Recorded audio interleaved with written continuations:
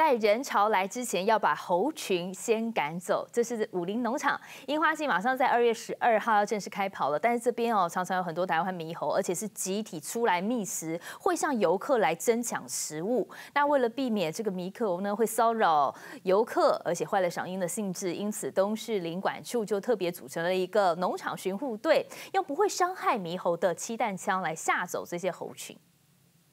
来，快点，快点！一发现猴群靠近，巡护队人员马上发射气弹枪。再打，再打，再打，赶快！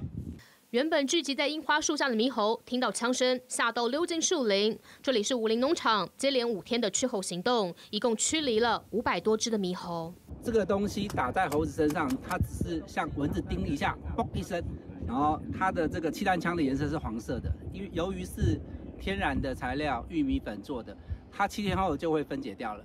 农场会种驱猴，是因为这些调皮的猴子过去常在园区内捣蛋，不止乱翻垃圾桶找食物，还会向游客争抢，霸占在马路中间，甚至跳上了樱花树，大口大口吃起樱花，让农场很困扰。区里的猴群数从一开始每天十七群，到最后的九群，逐日下降。武林农场樱花季二月十二号就正式开跑，农场选在春节前大动作的驱猴，就怕这些猕猴出现，影响游客赏樱的兴致。同样可以看樱花的，还有南投信义、望高地区，两公顷的樱花林平均已经盛开五成，从高空俯瞰，就像一条粉红色的浪漫隧道。预计春节期间，山樱花就会全数绽放，紧接着还有春寒樱。花期可以持续到三月。